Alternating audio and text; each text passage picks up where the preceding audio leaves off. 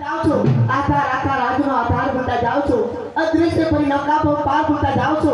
શક્તિના રાજા તમારા આશ્રય મળું છું કારણ કે અમે તો તમારી દીકરી સમાની કહેવાય. અરે દીકરી નહીં પણ આજે તો કરણ ગેલાની પિયર સમાન લાગે મહારાજ બેનો દીકરીઓ પર આવી કુદ્રષ્ટિ નાખતા જરા પણ શરમાતા નથી? અરે સોનાલ સીધી રીતે મારી વાત માને તો બરાબર છે.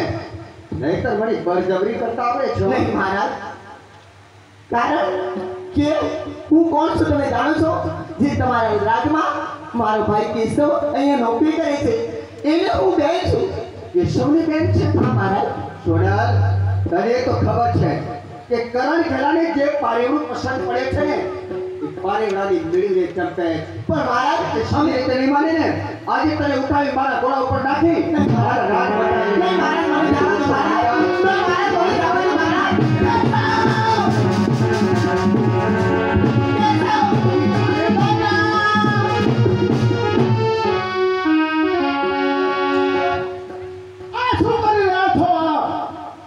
કેશવ તમે જાણો છો?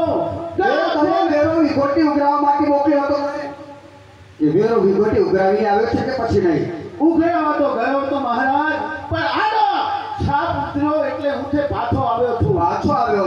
તો સાપ કાંકર તું રાજમાં જા. હું મારું કામ કરીને આવું છું. ખોટી છે મહારાજ.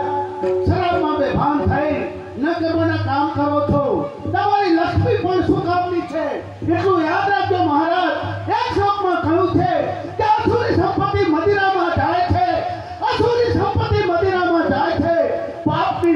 લક્ષ્મી સદા નીચે ખાય છે અને યાદે બની હરિકીર્તન માંડમાં જો સાચું હોય સંપત્તિ તો કામ આવે દાનમાં અરે. જે માણસ દાન કરતો નથી ભોગ ભોગવતો નથી બલ્કિ ઉધાર કરીને આપતો નથી એની પાસે ત્રણ પેઢી સુધી લક્ષ્મી રહે છે ચોથી પેઢી થતા એ ભિક્ષુકના જંગાલ બની જાય છે આના કરતા મહારાજ તમે ધર્મશાળાઓ બંધાવી હોય ત્યાં મંદિર બંધાયા હોય તો તમારી કીર્તિ ધોળ પાડો મહારાજ ન કરવાના